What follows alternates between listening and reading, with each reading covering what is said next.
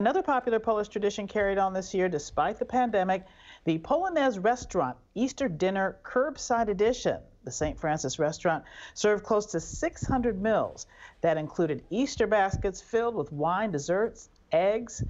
The Brzezinski family moved to Milwaukee from Poland and opened Polonez nearly 40 years ago, and it is still going strong. As you can tell, we are turning our attention to all things Polish and the cuisine. And if you can't think of any popular Polish dishes, we thought we'd help you out. So here's the first one cabbage rolls. They are a traditional Polish dish.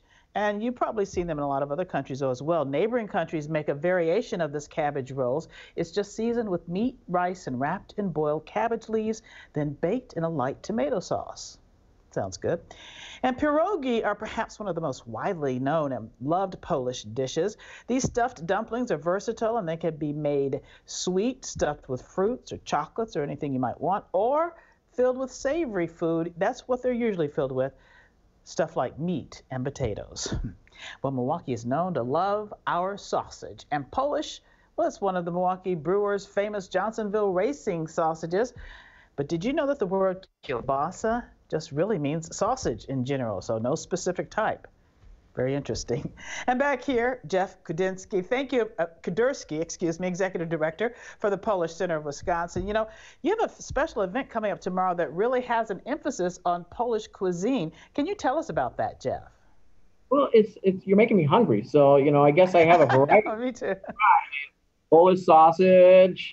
I got our our pork shanks with sauerkraut of course, pierogi.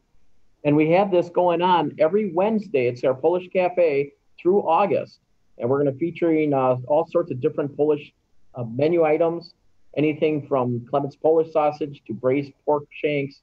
Uh, pork schnitzel is tomorrow, $15. Uh, roasted bone-in chicken for those who do not wish to have some traditional Polish. We have meat-filled potato dumplings. Mm, wow. And Mm. And again, we have like chicken supreme available as well. And of course, our full bar here at the Polish Center, Wisconsin, it's four to eight o'clock. Wow, very nice. How's business been going through the pandemic? Have you been able to hang in there? Uh, yeah, and it's and it's a we have this area pretty. It's all socially distanced, so it's pretty safe. We have dining indoors and out. We also do takeouts available, and this Friday will be the last fish fry for July. So we have our fish fry, breaded hand breaded cod, baked cod, and pierogi. Um, so we're doing that on Friday, but then in August we're going to continue with the Wednesdays Polish Cafe.